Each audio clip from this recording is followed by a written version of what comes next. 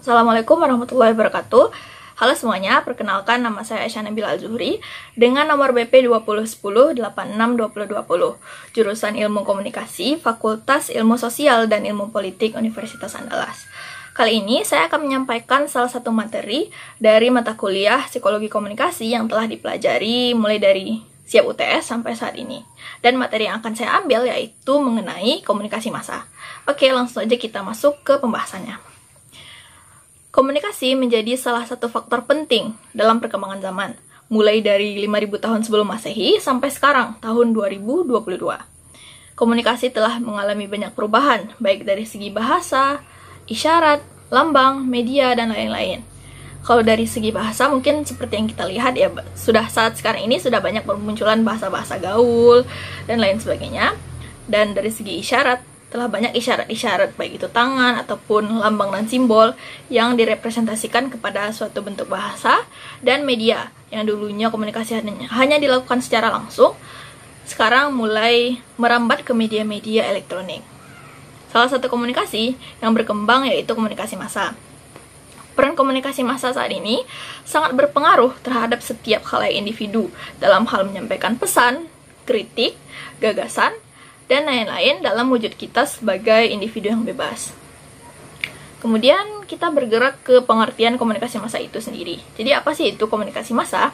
Secara bahasa, komunikasi massa atau mass communication adalah proses penyampaian pesan melalui media massa atau communicating with media. Jadi komunikasi massa ini tidak berlangsung secara langsung, melainkan melalui suatu perantara. Perantaranya yaitu media. Oleh karena itu, komunikasi massa tidak dapat dipisahkan dari media, seperti yang saya bilang tadi. Inilah sebabnya, menurut Little John, tidak ada yang bisa memisahkan media dari proses komunikasi massa karena hanya media yang dapat menghubungkan sumber informasi dengan khalayaknya. Jadi sumber informasi ini tidak akan bisa menyampaikan informasi kepada khalayak luas jika tidak melalui perantara media tadi. Komunikasi massa sifatnya massal melalui alat-alat yang bersifat mekanis seperti radio, radio, televisi, surat kabar, film, dan lain-lain. Dan dari pengertian tersebut mungkin ada pertanyaan nih, timbul pertanyaan, sebenarnya apa sih perbedaan komunikasi media dengan komunikasi massa dengan komunikasi kelompok? Untuk itu, saya telah menyertakannya di dalam tabel seperti yang bisa dilihat, perbedaan komunikasi massa dengan komunikasi kelompok. Mulai dari komunikasi massa, yang pertama, komunikasi massa bersifat tidak langsung. Jadi ada perantaranya, yaitu melalui media. Yang kedua, komunikasi massa bersifat satu arah. Tidak ada feedback yang diberikan melalui uh, dengan komunikasi massa. Contohnya ketika kita menonton film, maka kita hanya bisa menerima apa yang bisa kita lihat dari film tersebut. Kita tidak bisa memberikan feedbacknya secara langsung. Komunikasi massa bersifat terbuka. Bersifat terbuka karena komunikasi massa disebarkan kepada khalayak ramai dan memiliki publik yang secara geografis tersebar. Jadi uh, publiknya itu tersebar wilayahnya tidak hanya berada di satu tempat. Kemudian komunikasi kelompok, komunikasi kelompok terjadi secara tatap muka. Jadi mereka berkomunikasi tidak melalui media apa pun dan komunikasi memiliki sedikit partisipan. Berada di satu ruangan dan terjadi secara tatap muka. Kelompok berada di bawah arahan seorang pemimpin, jadi komunikasi kelompok ini berada di sebuah berada dengan arahan pemimpin, tidak seperti komunikasi massa yang terjadi begitu saja. Dan keempat, kelompok membagi tujuan atau sasaran bersama. Terakhir, anggota kelompok memiliki pengaruh atas satu sama lain. Tidak ada kelompok yang terlalu mendominasi atau tidak ada anggota lain yang merasa terkucilkan. Begitulah komunikasi kelompok. Kemudian, komunikasi massa ini ternyata menghadirkan beberapa efek kepada individu yang diketahui berasal dari feedback atau umpan balik dari audiens. Ada tiga dimensi efek komunikasi massa, yaitu efek kognitif yang mempengaruhi kesadaran belajar dan tambahan pengetahuan. Yang kedua, efek afektif komunikasi massa yang meliputi emosi, perasaan, dan attitude atau sikap. Yang terakhir yaitu efek behavioral komunikasi massa yang mempengaruhi perilaku dan nilai untuk melakukan sesuatu dengan cara-cara tertentu. Kita masuk yang pertama, yaitu efek kognitif. Efek kognitif, seperti yang telah dikatakan sebelumnya, meliputi peningkatan kesadaran, belajar, dan tambahan pengetahuan. Jadi, efek kognitif membahas tentang bagaimana media massa dapat membantu halayak dalam mempelajari informasi yang bermanfaat dan mengembangkan keterampilan kognitifnya dari sana. Dalam komunikasi massa, efek kognitif erat kaitannya dengan nilai yang bersifat informatif. Efek kognitif mengkaji bagaimana kalayak mendapatkan informasi dan mengembangkan keterampilan kognitifnya atas bantuan dari media massa. Jadi kesimpulannya, media massa ini berhasil disebut sebagai perpanjangan alat indera karena menyajikan informasi terkait benda, orang, ataupun tempat yang belum pernah dikunjungi secara langsung sehingga membangkitkan kognitif manusia dan menciptakan yang namanya realitas media massa. Realitas media massa inilah yang kemudian disebut dengan realitas yang sudah diseleksi. Selanjutnya, ada efek afektif komunikasi massa. Efek afektif ini meliputi emosi, perasaan, dan attitude atau sikap. Efek afektif merupakan kelanjutan dari efek sebelumnya, yaitu efek kognitif, karena kadarnya lebih tinggi daripada efek kognitif. Tujuan dari komunikasi massa bukan sekedar memberitahu khalayak tentang sesuatu, tetapi juga ingin menyeret khalayak untuk turut dapat merasakan perasaan-perasaan ketika men men menonton tayangan tertentu. Contohnya seperti perasaan iba, terharu, sedih, gembira, marah, dan lain sebagainya. Efek ini mampu membentuk dan merubah sikap seseorang. Efek afektif juga mampu merangsang emosional rangsangan dan rangsangan seksual. Berikut faktor yang mempengaruhi terjadinya efek afektif komunikasi massa, yaitu A. Pembentukan dan perubahan sikap. Joseph Klepper menyimpulkan ada beberapa prinsip pengaruh media massa yang berhubungan dengan pembentukan dan perubahan sikap, yaitu sebagai berikut. Yang pertama, pengaruh komunikasi massa, yaitu faktor-faktor personal, proses selektif, dan keanggotaan kelompok. Jadi komunikasi massa ini dari faktor personalnya, proses selektifnya, dan keanggotaan kelompoknya telah menyebabkan perubahan sikap bagi individu. Yang kedua, Komunikasi massa berfungsi memperkokoh sikap dan pendapat yang ada, walaupun terkadang fungsinya bisa sebagai media pengubah. Jadi beberapa kelompok orang um, melihat komunikasi massa ini berdasarkan apa yang mereka yakini, sehingga memperkokoh apa yang telah mereka yakini. Meskipun juga ada beberapa kasus di mana komunikasi massa malah membuatnya berubah dari pendiriannya sebelumnya.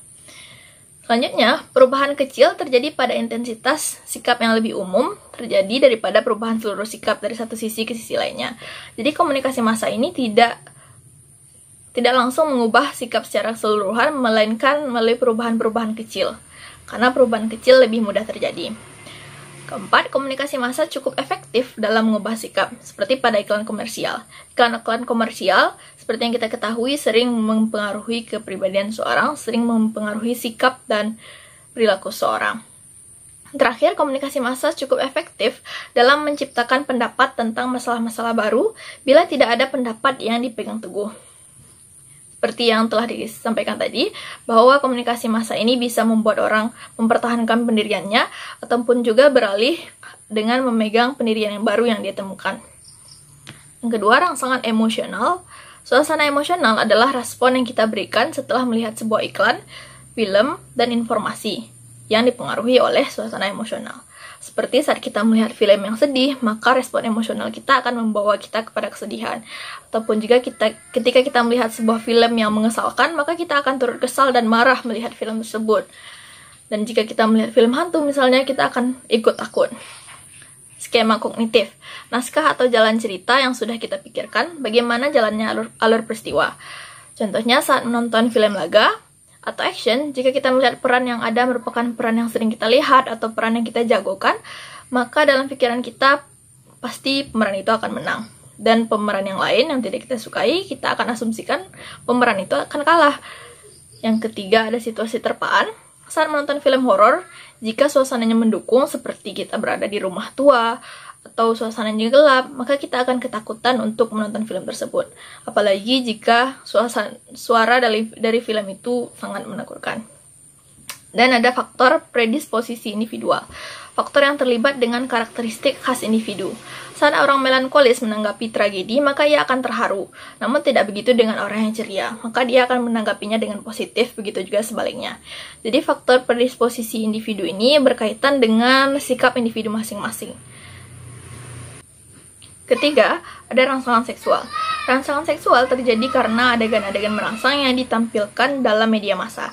Biasanya, yang dipertontonkan adalah bahan erotis yang terdapat pada film, majalah, atau ataupun koran. Para ahli menyebutkan dengan erotika.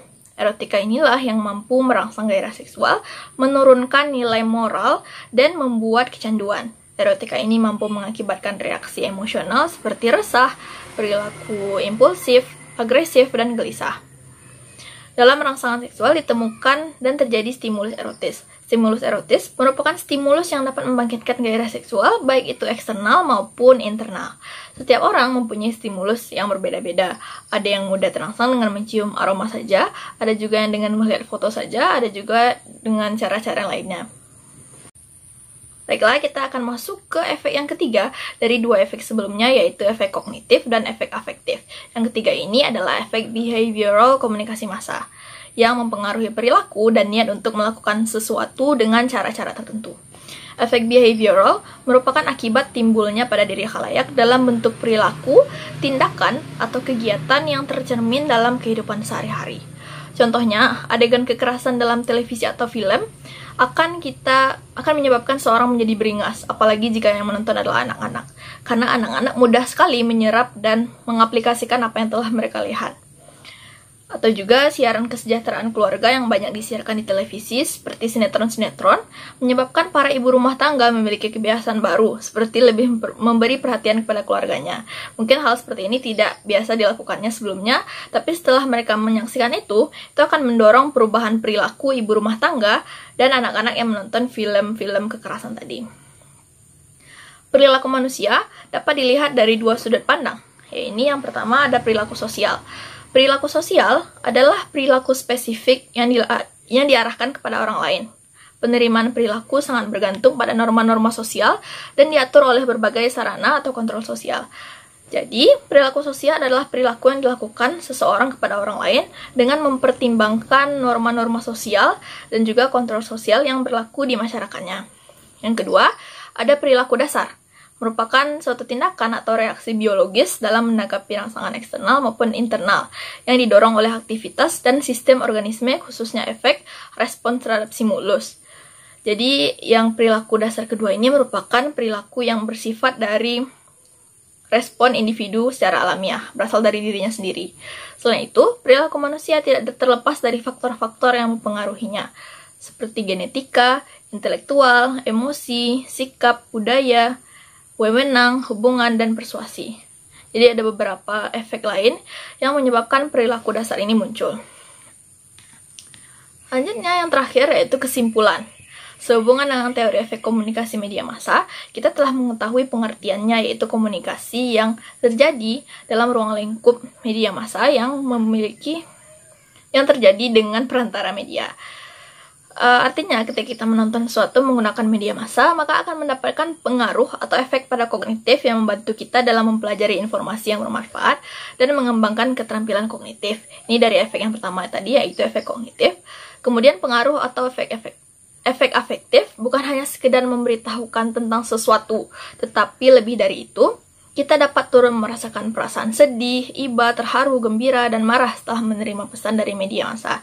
Jadi yang dipengaruhi dari efek afektif ini adalah emosi dan sikap kita. Dan yang terakhir adalah pengaruh atau efek behavioral yang berupa akibat ini timbul pada diri dalam bentuk tindakan dan kegiatan sehari-hari. Efek dari behavioral ini akan mempengaruhi perilaku dan tindakan kita sehari-hari. Mungkin sekian yang dapat saya sampaikan. Terima kasih atas segala perhatiannya dan mohon maaf atas segala kesalahannya. Terima kasih. Assalamualaikum warahmatullahi wabarakatuh.